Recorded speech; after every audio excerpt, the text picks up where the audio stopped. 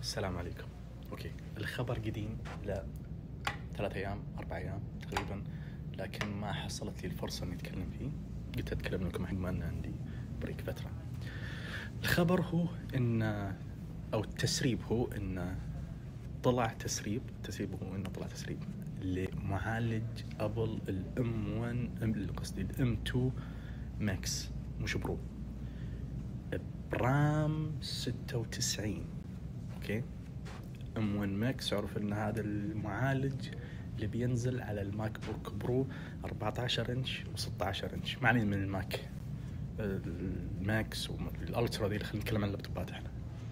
فيعتبر هذا الشيء أول مرة Apple توصل لها في لابتوباتها إنها تحط RAM 96 لابتوبات Apple اللي الآن أعلى RAM فيها 64 ودخلت على ال M 1 بال 64 RAM اللي يعتبر wow. ليش؟ لأن wow ليش؟ لأن المعالجات اللي موجودة خصوصا بال M 1 والآن ال M 2 هذه ال SOC أو system on chip أو ال 64 هذه راح تشارك مع ال video RAM. يعني تخيل إنك انت لابتوب Intel أحيانا تكون معالج فيه 64 أو مثلا لابتوب أو PC مثلا. 64 128 giga RAM لكن في الإخراج من الإخراج يبي له ال GPU رامات ال GPU برضه راح تاخذ.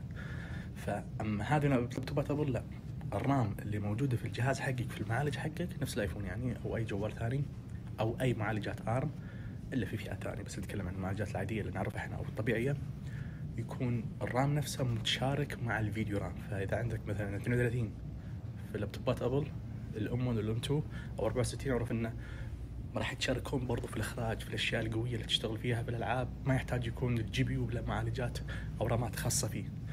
96 هذه راح تكون. تقدر تستخدمها حق الشغل الثاني ما يعني 96 هذه راح يكون حق النظام كامل. ف مبتسم إن الشيء قوي في اللابتوب راح يكون هذا الشيء. يعني ما أتوقع إنه في لابتوب الآن موجود في السوق.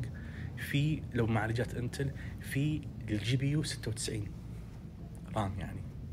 96 جيجا بايت ف تسريبات متى راح تكون؟ نتوقع إن نرجع نفس الحركة. Apple شو تسوي؟ المعالجات القوية خصوصا 18 شهر أو اللابتوبات القوية فنتوقع انه نقول النصف الأول من 2023 نشوفها. ف ننتظر ونشوف. بحط لكم صور حق التسريبات لحق الجيك بنش وكم القوة والأرقام بالسناب الجايه السلام عليكم من الحين